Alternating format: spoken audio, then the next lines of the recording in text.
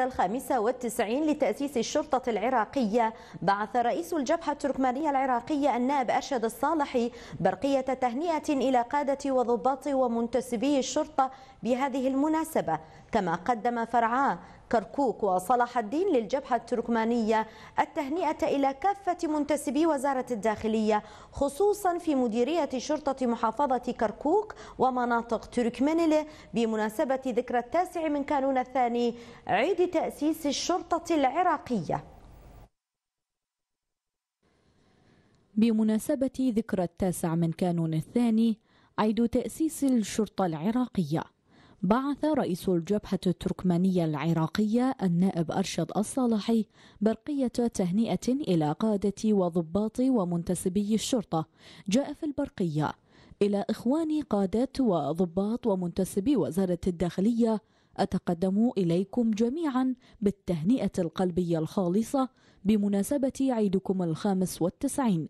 داعيا المولى تعالى أن يوفقكم لمزيد من الخير وليثبت أقدامكم ويزيدكم تفانيا وإخلاصا وتطورا لخدمة بلدكم وحماية سلمه الأهلي وأمنه وازدهاره الاقتصادي. وقال الصالحي إن الشرطة بدمائها حافظت على أمن البلاد وشعبه ولا زالت تضحي بمنتسبيها من أجل إعادة الاستقرار التام في البلد.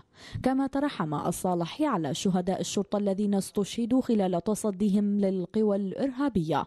كما قدم مسؤول فرع كركوك للجبهة التركمانية العراقية قاسم قزانش في بيان له التهنئة بمناسبة ذكرى تأسيس الشرطة العراقية. وقال قزانش نتقدم بأزكى التهاني والتبريكات لجميع منتسبي وزارة الداخلية قادة وضباط ومراتب وخصوصا مديرية شرطة محافظة كركوك وجميع قادة وضباط ومنتسبي الشرطة التركمان.